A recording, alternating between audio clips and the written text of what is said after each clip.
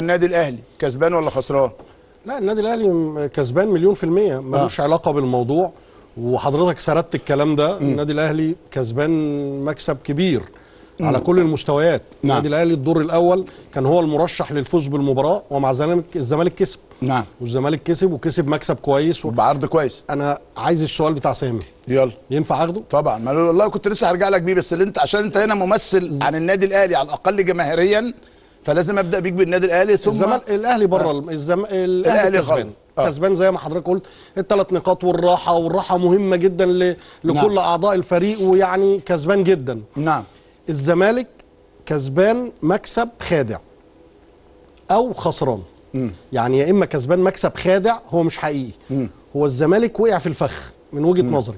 الزمالك وقع في فخ آه كتير من آه، السوشيال ميديا آه الزمالك لازم يعرف ويتأكد إن الزمالك كبير. الزمالك قطب الكرة المصرية الثاني وأنا مش عاجبني ابدا ابدا كل المناظرات اللي بتحصل بين الأهلاوية والزملكاوية. يا جماعة إحنا مش في قصة مين أجمد. نعم. الأهلي والزمالك الكورة من غيرهم في مصر ما تنفعش. لازم يكون الزمالك ومسؤوليه وجماهيره وكل من ينتمي للزمالك متأكد من المقولة دي.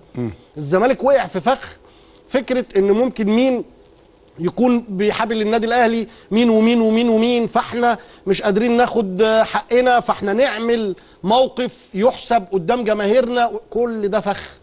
أنت طبعا أنت كبير وأنت أكبر من كده بكتير. وتوقيت القرار من وجهة نظري خاطئ بنسبة 100% أنا ممكن كنت أكمل الموسم حتى بكل كل, كل مشاكله. ومشاكل. كابتن نعم. كل مشاكله على ال 18 نادي. نعم. مفيش نادي مش متضرر من التحكيم. مفيش نادي مش متضرر انه يلعب الساعة 4 الظهر نعم. في عز الحر. مفيش نادي مش متضرر ان الجدول بتاعه مش احسن حاجة. كل الأندية متضررة. طيب كويس انت قلت كل الأندية. عايز أقول حتة كابتن اتفضل عشان معايا ضيوف مهمين. حتة حتة صغيرة. آه. طبعا. أنا قلت لك المشكلة في الزمالك ما كانتش الجدول. على فكرة زي نعم. ما بنتكلم مشكلة الجدول ما ينفعش ما ينفعش حد مسؤول في الرابطة يقول لك الزمالك لو ما لعبش ينزل درجة رابعة. الزمالك ما ينزلش درجة مش رابعة. كده خالص. لا اتقال يا كابتن كل ده فخ. اتقال يا كابتن اتقال- اتقال الزمالك لو ما لعبش الماتشات اللي جاية هينزل درجات أدنى. ما ينفعش أنا- يتقال أنا بحكم شغلي أنا بحكم شغلي بتابع كل التصريحات خلي بال طب حضرتك ارجع لك- للكلام اللي اتقال من حد في مسؤول قول مين. قول مين؟ آه، اعتذر عن هذا الكلام. يبقى قالوا اعتذر. مش اعتذر عن. هذا الكلام فورا لكنه انت هنا. بتحاسب مين يا كابتن سامي؟ متأسف. أنا آسف يعني السيد أحمد دياب رئيس الرابطة.